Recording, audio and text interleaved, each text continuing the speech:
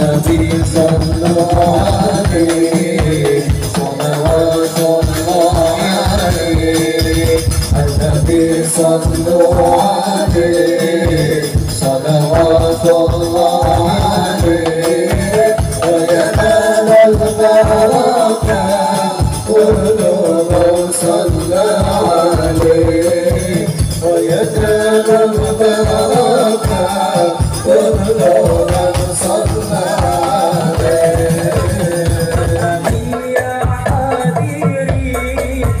يعلم عند اليقين الذي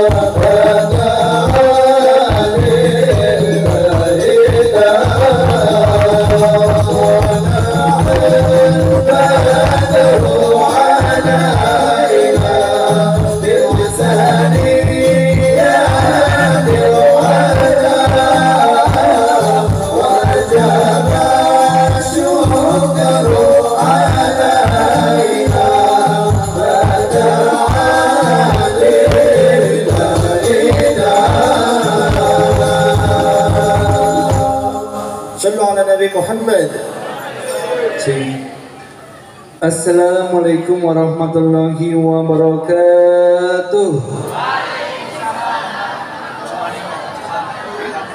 Alhamdulillah Rabbil Alamin wa Muhammadin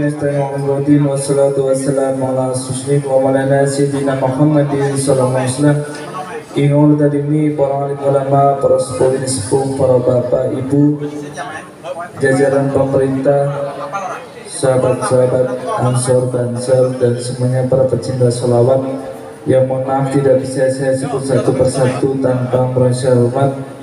Dan keluarga besar TPQ dan Majelis Taklim Al-Hikmah Ustaz-ustazanya, santri-santrinya dan semuanya Monggo Mas Abdullah Alhamdulillahirrahmanirrahim Kita senantiasa diberi nikmat sehat panjang umur kuat Islam Sehingga kita bisa berkumpulnya Semoga kumpulnya kita bisa membawa kemanfaatan di dunia dan di akhirat Allahumma Salawat dan salam mari kita curahkan kepada junjungan Nabi Muhammad Sallallahu Salah satu Nabi pemimpin umat Nabi pemimpin sahabat yang semoga kumpulnya kita di sini bisa menambah mahabbah kita, kecintaan kita kepada Nabi dan kelak bisa dikumpulkan bersama Nabi Muhammad Sallallahu. Alhamdulillah, ini langsung aja kita bersolawat bersama-sama. Karena mohon maaf jam 11 saya itu udah harus OTW ke Tuban Ibu. Besok malam kan ketemu lagi. Semoga waktunya cukup karena besok siang saya juga ada acara lagi di Sirau, Pondok, Nurul Nurul Ulum kalau nggak salah. Oh Darul Ulum.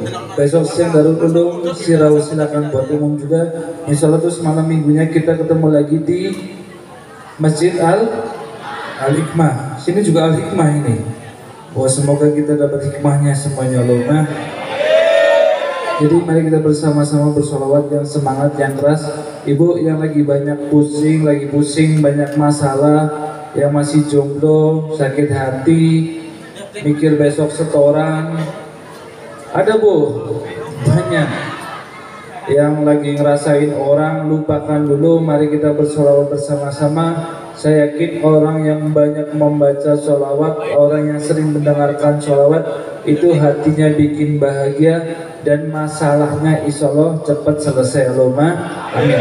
Jadi mari kita bersolawat bersama-sama yang semangat diniatin yang baik semoga mendapatkan hal yang baik dan kelak mendapatkan sahabat Nabi Muhammad sallallahu alaihi wasallam surah Fatihah. A'udzu billahi minasyaitonir rajim. Bismillahirrahmanirrahim.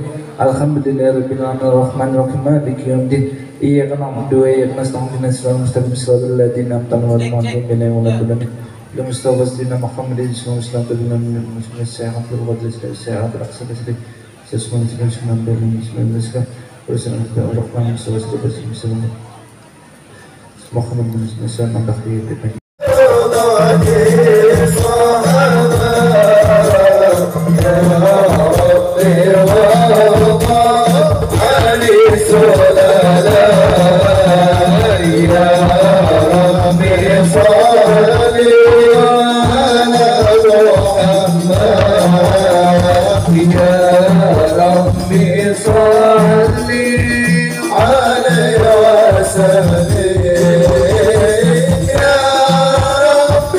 عليه وسلم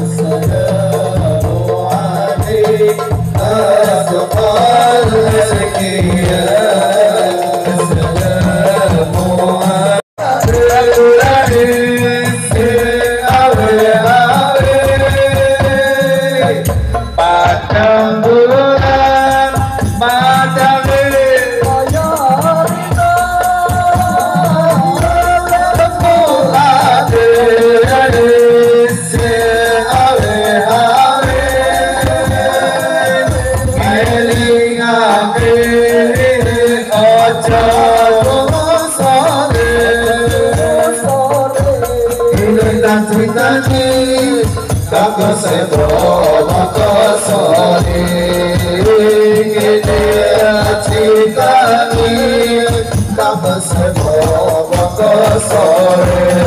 Sayyidina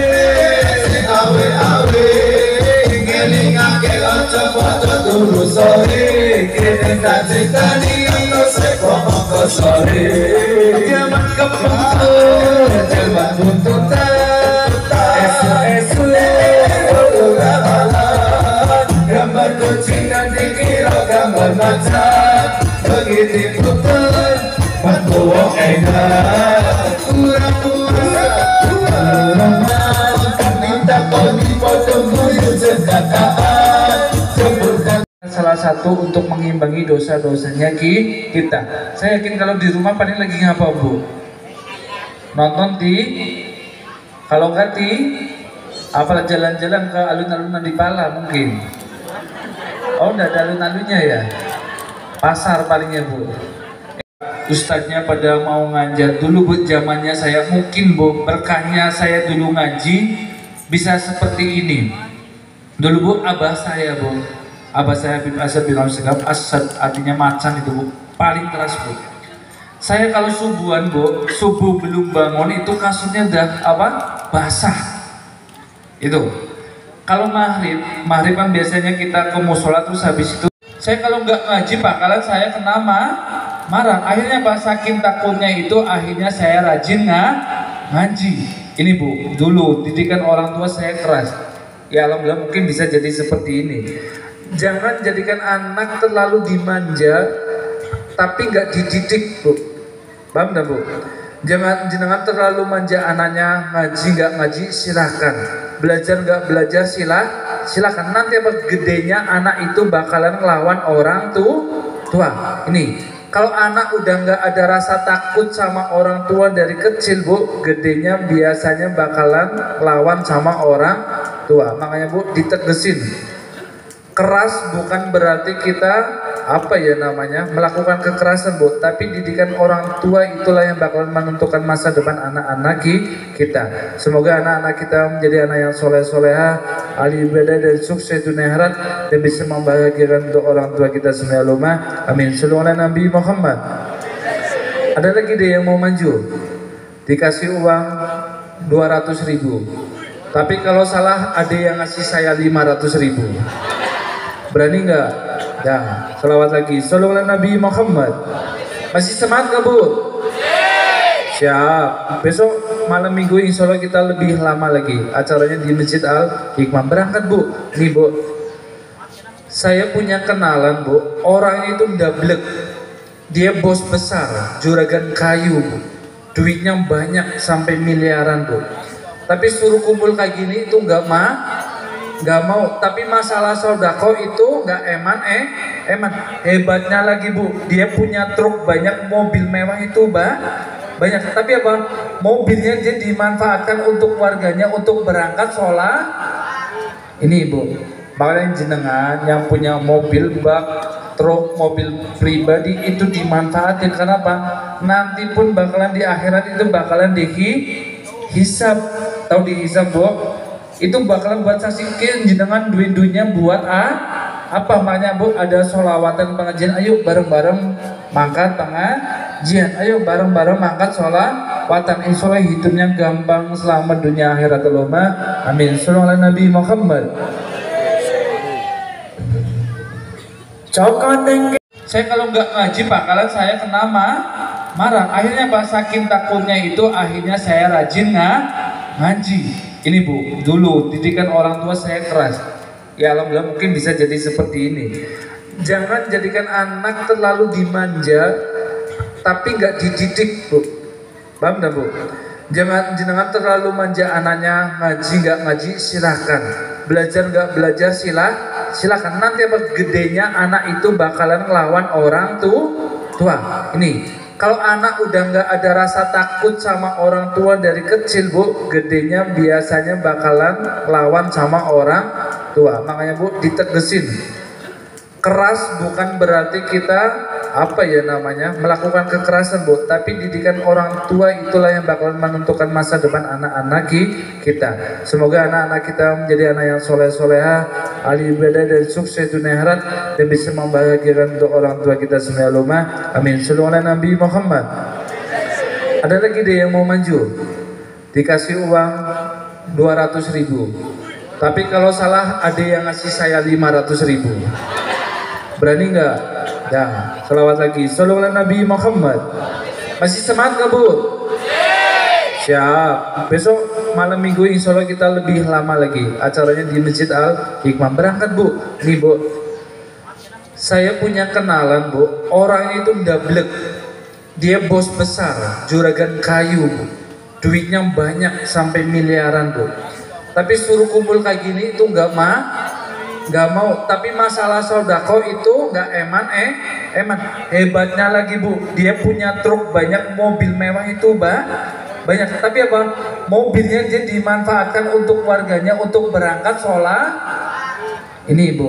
Makanya jenengan yang punya mobil bak truk mobil pribadi itu dimanfaatin. Kenapa nanti pun bakalan di akhirat itu bakalan dihisap tahu dihisap bu itu bakalan buat saksikin jenengan duit-duitnya buat ah, apa makanya bu? Ada solawatan pengajian. Ayo bareng-bareng mangkat pengajian. Ayo bareng-bareng mangkat sholat watan insya hidupnya gampang selamat dunia akhirat amin. Sallallahu Nabi Muhammad. Cokoneng